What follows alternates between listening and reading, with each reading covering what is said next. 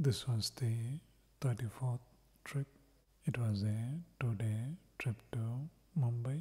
This was with a relative. Dropped our luggage at Hilton in Mumbai and went to this art festival at Kala Ghoda. Saw some really interesting art and made this video. Saw a Formula One car there. Made a video about that too. After that, went to Jio World Drive. Went to this interesting cafe.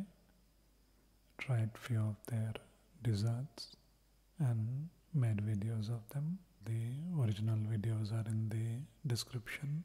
Had some nice tea too.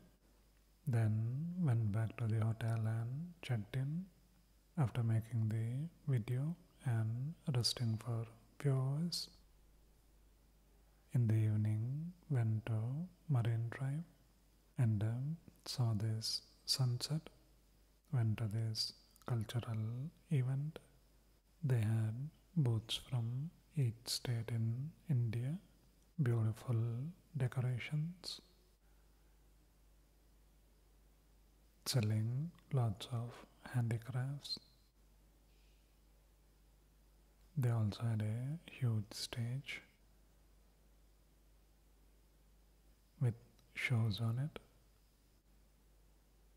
and a really big food court with some really interesting local foods from these states.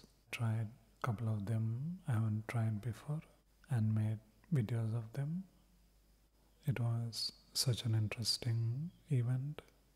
Went back to the room after that. This pool in the morning.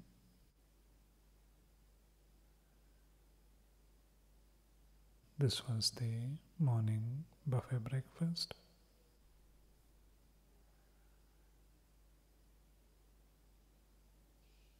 After the breakfast, saw this interesting plant.